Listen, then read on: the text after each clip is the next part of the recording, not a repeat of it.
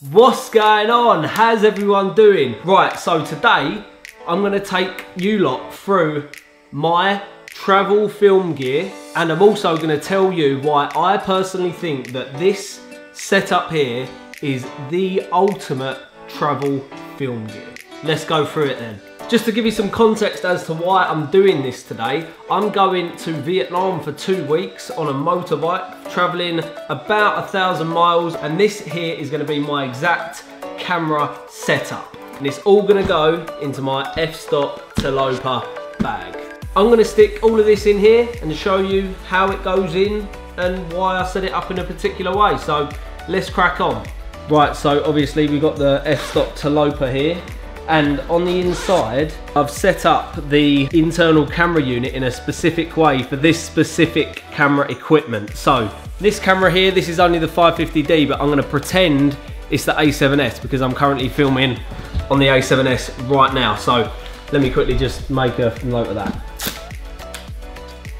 Right, so that you lot know, this is actually the A7S. It's not the 550D. So, a7S and the Canon 10 to 18 mil is going to slip straight in this very front pocket. I like to keep it there because it's right at the lower part of the bag and it's probably the most comfy and protected place where it can sit. You can see there's loads of extra room in here. So what I do is put my RAV Power battery pack for the A7 camera with two batteries in it as well. That slips on in there then I've got the Canon 50mm 1.8 just chilling, that really, really cheap one. Decent, decent lens. Not the best build quality, but end of the day, I'm so run and gun, there really is no point me taking a really, really nice expensive lens. That slips on in there. So that's that section done. Next up, we've got the DJI Mavic Pro. Now, I know all of you know about the DJI Mavic. In 2017, it is kind of essential to have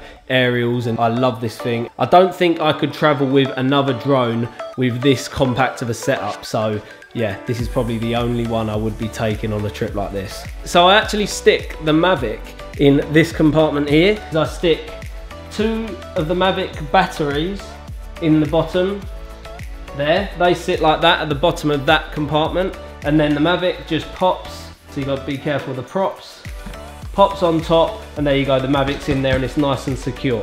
We've got the Mavic controller here, and obviously you want to be quite careful because you don't want to be breaking any of your knobs or anything like that. This just slips in here, and I do it horizontally so there's actually room for the controls to move about in there. ND filters. I've currently got an ND on the Mavic right now because I think I'm going to need it most of the time, so I'll just leave it on there anyway. And I slip that in there. We've got the Mavic props with the controller just in case, you know, I have a little cheeky accidental crash. So next up, I'm gonna pack the Mavic controller. Now the controller is gonna go right at the bottom of this compartment here. Intervalometer, this is obviously for time lapses.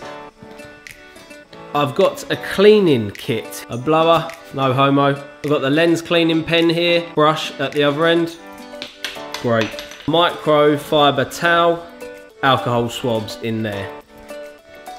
Zoom H1 and the reason I'm going to be taking this instead of the Rode Video Mic Pro is the fact that the Rode Video Mic Pro is more of a shotgun mic and I want something that's a bit more of a kind of general mic that is going to pick up sounds from all around me instead of the ones that are directly in front because you want it to kind of be an immersive experience if you're traveling you want to kind of get the sounds from all around not just directly in front the Mac charger. So that slips on in here as well. I've got the last three A7S batteries here. I number them all so I know which ones are actually dead and which ones are still clean. These ones are just gonna slip in the side next to my cleaning kit because then they're kind of quite accessible and you kind of want to make your travel bag as accessible as possible to the things that you're going to need on the go really quick. Next up I'm just going to take some general Sharpie pens. Here I've got as you can see a thick tip and a really thin ball tip. You can never be caught out without a pen.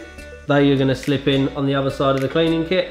Some general cables, I've got some micro USB cables. I'll probably take two or three of these to be honest. Then I've got my little 3.5 jack to jack for my Zoom H1 if I want to plug it directly into the A7S. They're just going to be plonked in there. Multi-tool, so I've got a ton of knives, some screwdrivers and some general tools that you just need when you're traveling anyway. So I'll keep that in there. So I've got some Allen keys here. So I always keep them in my kit because you never know when you're gonna need them.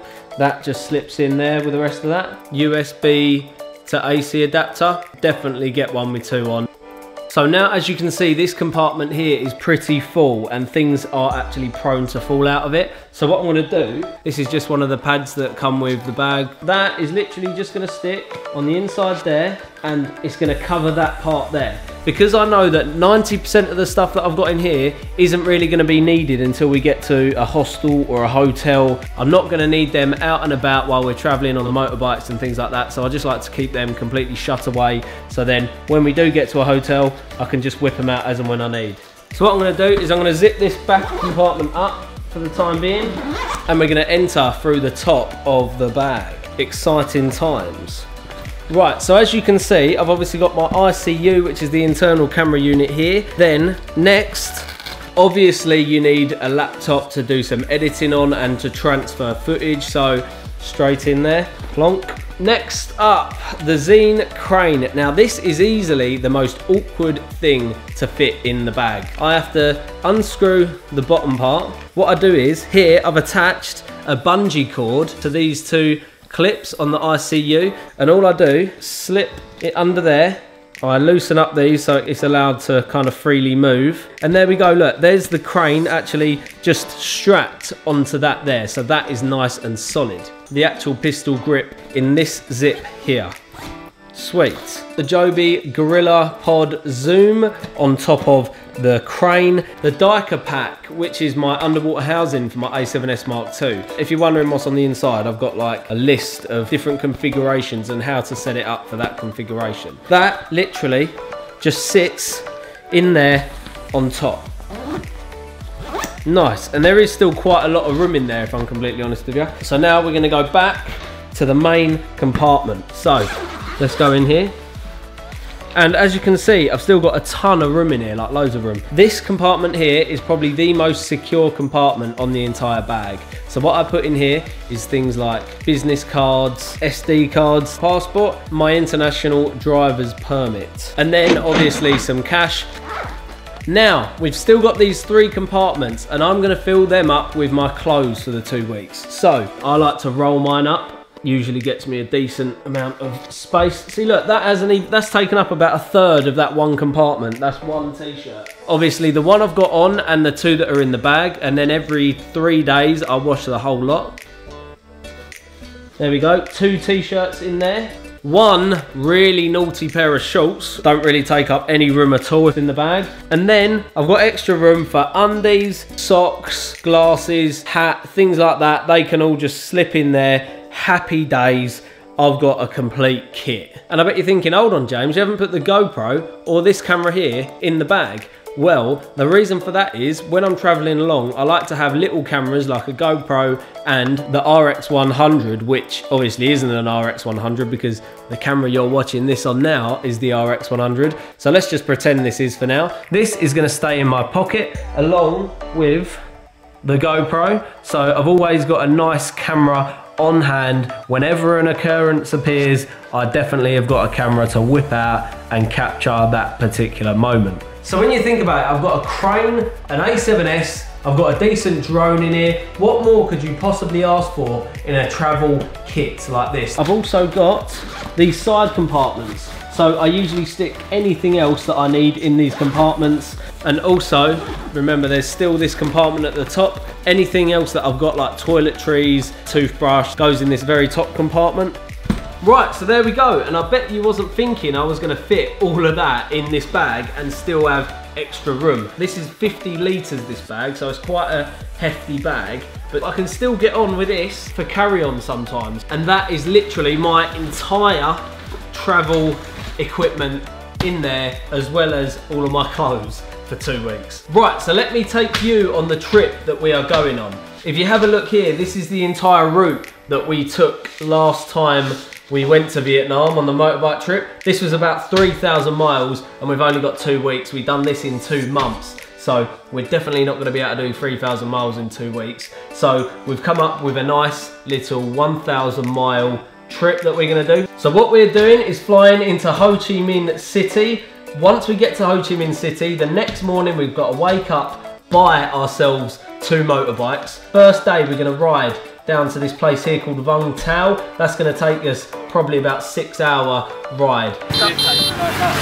Then the following day, we're gonna ride all the way up here to a place called Mui Ne. Now Mui Ne has really, really nice beaches, sand dunes. We're gonna go and rent a quad bike and quad bike the hell out of these sand dunes. After Mui Ne, we're gonna ride up here, which is a route we didn't do before, from Mui Ne up to a place called Dalat. Now Dalat is a beautiful city in the jungle kind of scenery. It's got loads of waterfalls, loads of activities to do. After Dalat, we're gonna do this road here. The road from Dalat to Nha Trang. Now this is about a four hour drive and it is in my opinion the nicest ride that you can possibly do the entire route of Vietnam. The roads up here were incredible but this one here was probably my favourite route of the entire country that we done last time. By the time we get here, we're about six days in, so we're gonna ride from Nha Trang round here to a place on this peninsula called Jungle Beach. Now we're gonna spend about four to five days at Jungle Beach. I really, really just wanna chill out, spend a couple of days there and just relax. Maybe make a few edits for you lot, make it nice and fun. After that, we're gonna ride all the way back from Jungle Beach back to Dalat then we're gonna sell our motorbikes in Dalat, fly back to Ho Chi Minh City, fly back to London. So yeah, that is our motorbike trip that we're going to be doing. I hope you enjoyed me going through all my camera equipment for this travel trip. Hopefully give you a bit of inspiration to develop your travel gear and anything that I've spoke about today I'll link in the description so you can check it out. So next time I'll be seeing you lot will be in Vietnam. This is going to be the last one I'm going to post before I go on this trip. You lot have a wicked time. I hope you've enjoyed this video and I will see you later. Sweet.